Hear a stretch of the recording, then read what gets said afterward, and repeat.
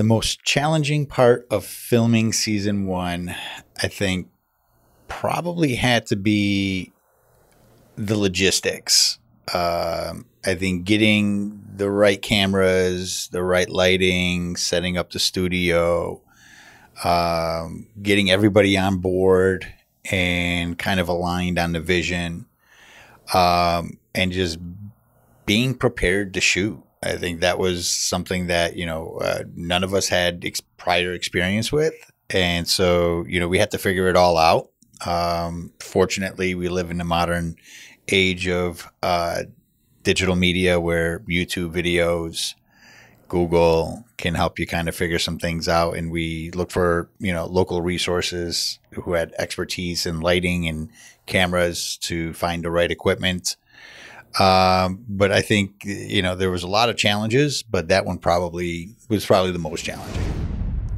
The most challenging part of filming season one. Now, filming and doing it are almost two different things. So, for me, I would say the the challenging part about filming was making sure a I wasn't doing anything weird, uh, and to give more of a real answer, and uh, and I, I mean this with all respect to Jimmy because I love him, but all the preparation, all the work that went into each episode and what we wanted to talk about was wonderful for me and my anxieties because I, I'm a planner. I like to know what we're going to talk about ahead of time. But one of the most challenging aspects was when we would bring up a question or I would pose a question to Jimmy and he would answer it and then go on and on and on. And in the moment, I had to listen to him while also in my head trying to figure out a way of how the hell are we going to transition out of this. uh, while it was really challenging, though, it was super fun.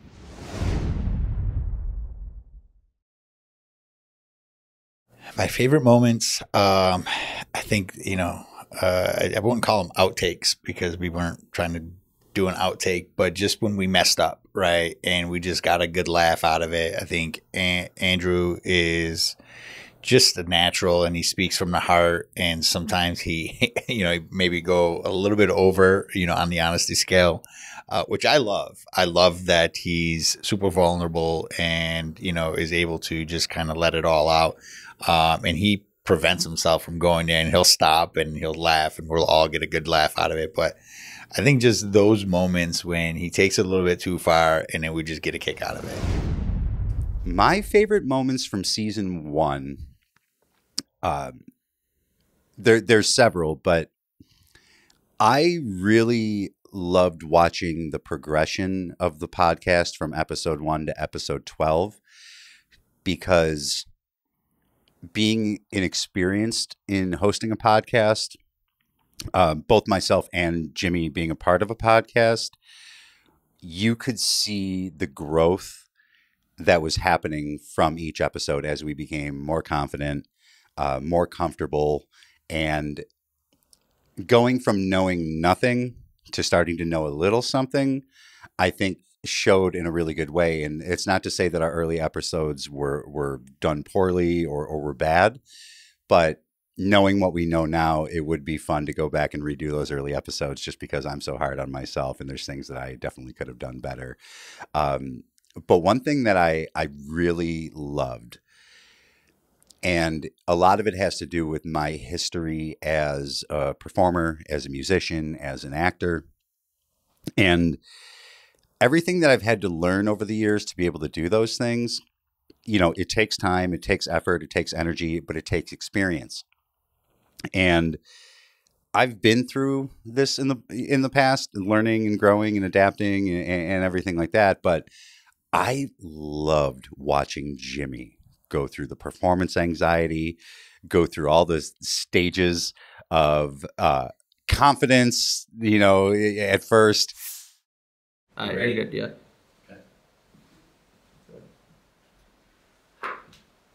Welcome back to the ZIZO Effect podcast. But then it, it's a different thing. You know, you, you can feel good about yourself. You can know what you're talking about. But then watching yourself back is a whole other story.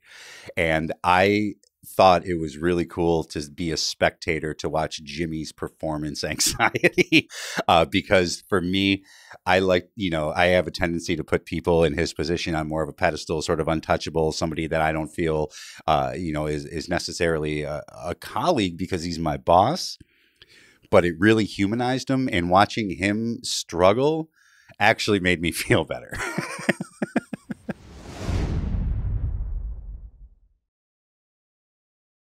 Well, it's definitely evolved quite a bit. I think one of the um, most obvious obvious evolutions of the podcast is just confidence, both from myself, from Andrew, uh, from the crew, you know, who's involved. Um, of course, you, Alex, Rianne, um, anybody who was involved in a podcast, we started to get more confident.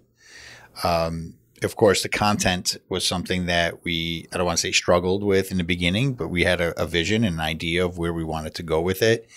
Uh, but just preparing, I think we, we started to prepare less, and I think it made it more natural. Um, and, you know, but definitely still stuck with the vision of what content we wanted to share with our audience. Hello, hello. Welcome to the ZIZO Effect Podcast. Grand finale of the ZIZO Effect Podcast. Knowing what we know now, it's so much easier to look back and say, I would have done this differently. I would have done that differently. I believe that our product in the podcast was really good from the start, but I think the the progression of over preparing prepping everything I wanted to say, every question that was going to be asked, and mapping it all out felt the way, you know, may, maybe at the time it was the way to go at the start.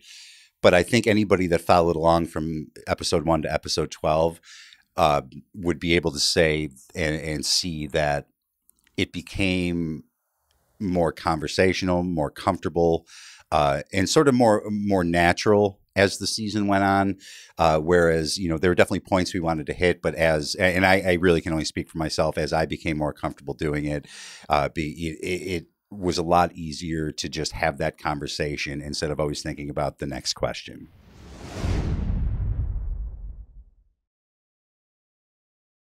Anything's possible.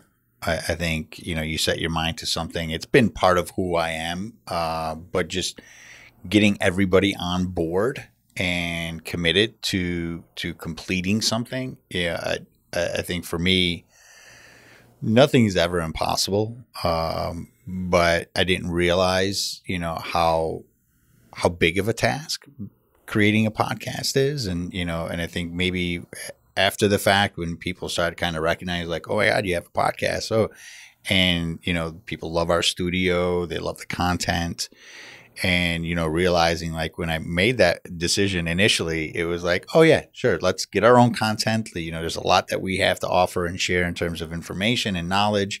Would love to do it in an engaging and fun way. Um, and then uh, you know getting everybody on board uh, but it's anything is possible. You set your mind to it. I think we accomplished a full season. Well we did accomplish a full season but um, and then we're now planning season two. It's it's a great accomplishment.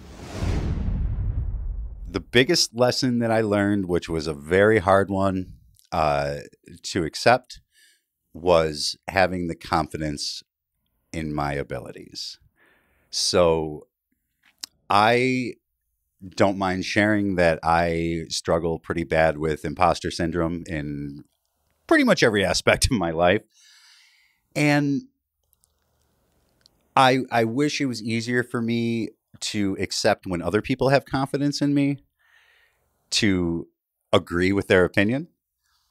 Um, but finally reaching a point where I felt that I deserved to be in this position and deserved to be in this role, and I was chosen because uh, of who I am and, and, my knowledge about the the product, about gamification, and everything that we talked about. Um, being able to accept that I kind of do know what I'm doing was actually really difficult for me. But it was a, a lesson that not only helped me in the podcast world, but truthfully goes into other aspects of my life as well parenting, friendships, everything like that. Um, a huge lesson that I've learned.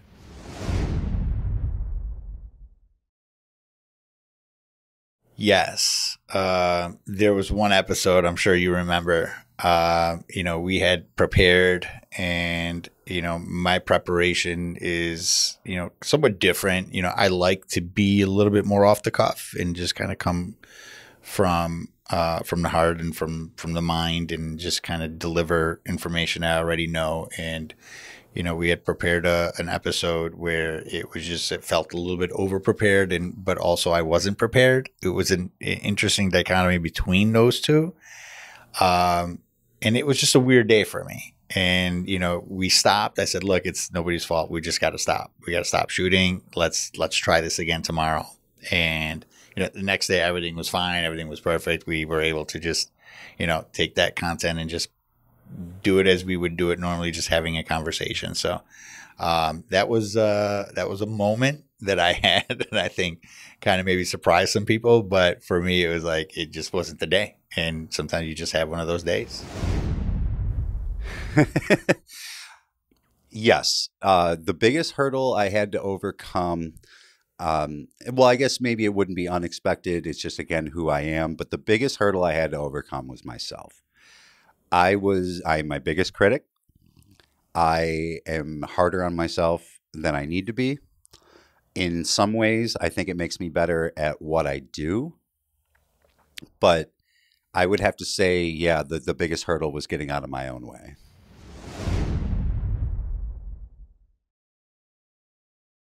I feed off of Andrew. I mean, he's got just amazing energy and positivity and personality. Um, you know, the the more upbeat he is, that feeds me, and you know, we kind of I think bounce off of each other's energy. Uh, you know, there's of course we have coffee that helps, but you know, anytime I feed more off the energy in the room, I think when everybody is is excited, is is prepared and you know is happy and is positive i think i feed off of that energy. And you know of course with my co-host it's uh, his energy is just so uh, contagious. And so i feed off of him. Uh drugs. No. Sorry. Uh the energy and enthusiasm isn't something that I consciously feel that I have to keep up or something that that I'm always thinking about maintaining. Uh, because really, when it comes down to it, I believe so strongly in gamification and in the ZIZO platform itself that whether I'm being filmed on a podcast or recorded on a podcast, or if I'm on a call with a client or a potential client or one of our customers, I am as guilty as everybody in this company of getting so excited and I could go on forever about it where th- it none of this ever felt like a job to me. It was more a way for me to get everything out of my brain that I you know that I want to say uh, about ZIZO because I do feel so strongly in everything that we're doing here.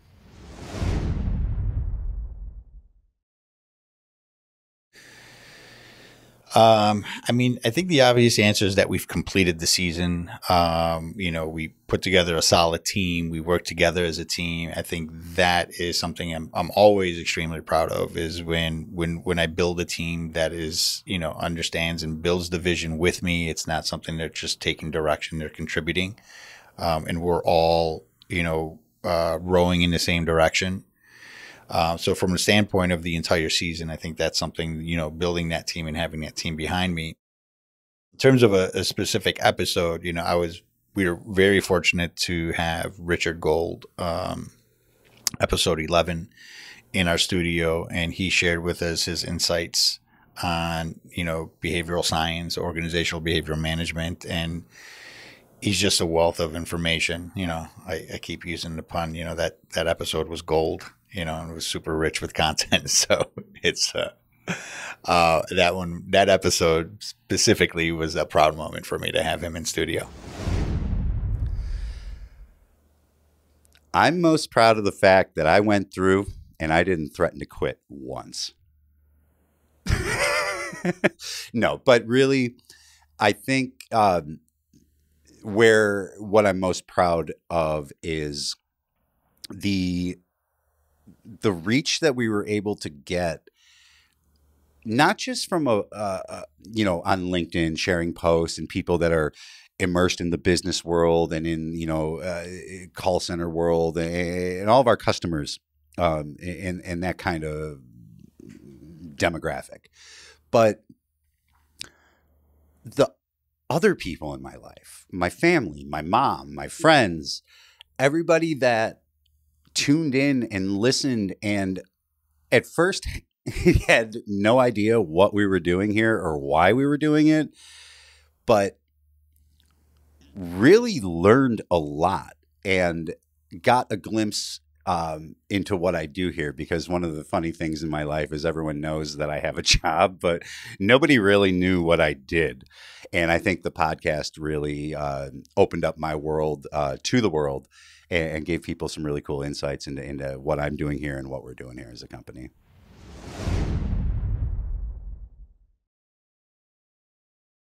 I don't know that there would be anything that I could do differently. I mean, it, it's a journey that I think we had to take uh, when we had to learn from each episode and from from each experience. And uh, I, I, don't know that there's anything I would change. I don't know that there's anything I could change. The journey was um, was a fun and was an experience that um, that I'm excited to continue. So, if I could have done something differently after going back and watching and rewatching the podcast, because again, I'm obsessive and very critical of myself, I wish I would have said, you know, more. because I think I only said it about 5,000 times in these 12 episodes. But uh, truthfully, if, uh, if I could go back uh, I, I, wouldn't change the transparency and the vulnerability that I, am willing to share with the world, but I probably wouldn't have gone as in depth about my drug use, especially considering uh, don't tell anyone, but I'm actually a sober guy. So uh, sometimes I use humor to as a defense mechanism, and it while it might be funny to me, it doesn't always translate as well on camera or on recording. Uh, so that's something I'm conscious of. And, uh, you know, I don't want to disappoint my mom anymore. So I'm going to lay off of that for season two.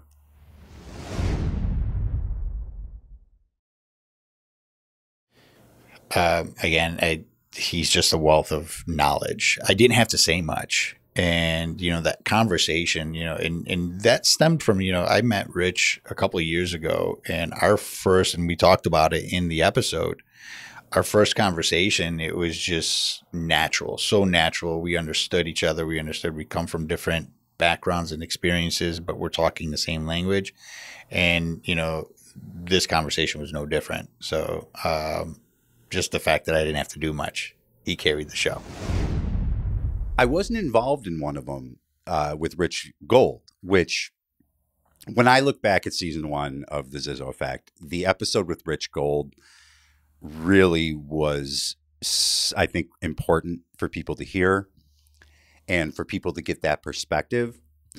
Uh, but when I think about the episode that we did about data integrity with Zach Diapol, our integrations coordinator, uh, who is, I mean, truthfully, one of my favorite people in the world.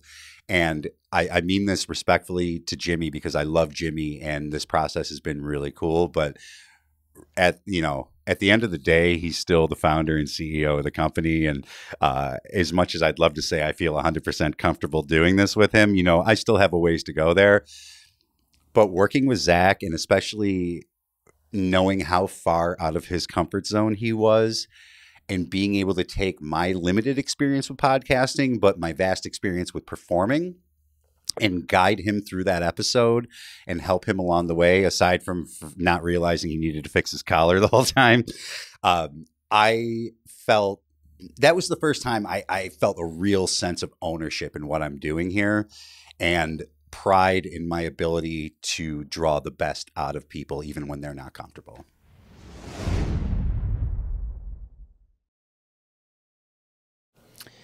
You know, we just, you know, recently did our planning session and, you know, we want to continue to bring value uh, to our audience and content that's meaningful. And I think bringing on more guests and diversity of guests and guest types is something I'm really excited to to bring on. We're even maybe changing uh, the studio slightly to accommodate in-house guests, but also remote guests, so we don't limit ourselves. So I'm excited to you know to to bring a diversity of thought. It's not just going to be Andrew and I for you know most of the season. I think we're going to see a lot more guests in season two.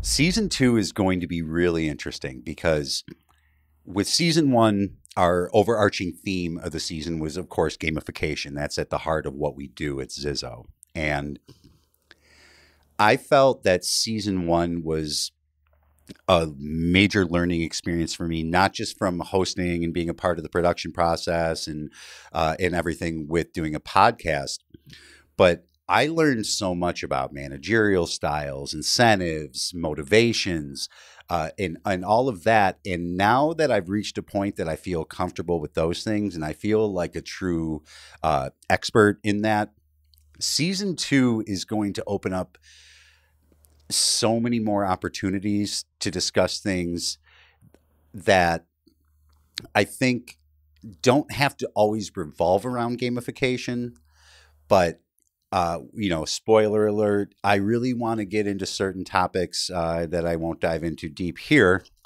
Dive deep. Something I'd go back and change about season one anyway. Um, I want to get to the heart of the human condition. It's something that I love about the world that we live in. I love how different everybody is. So I want to focus on those frontline workers, the people that I identify with, especially as a frontline worker, you know, with ZIZO and being the face and the voice of ZIZO, as people call me. Um, but to talk about mental health, to talk about different managerial styles, to talk about what people want from work, where season one, I think we did a really good job at educating people about gamification, but I can't wait to flip the script. And I want to get educated from people that are doing these jobs that are are hitting the phones that are are in the grind that are on the verge of burnout but uh, and find out what motivates them what makes them tick what makes them happy uh, i think there's a lot of opportunity for season two for uh, both myself and for jimmy to learn even more about who's using our product but really who's at the heart of the modern workforce That's it. That was easy. is that all of it oh all right It's game time.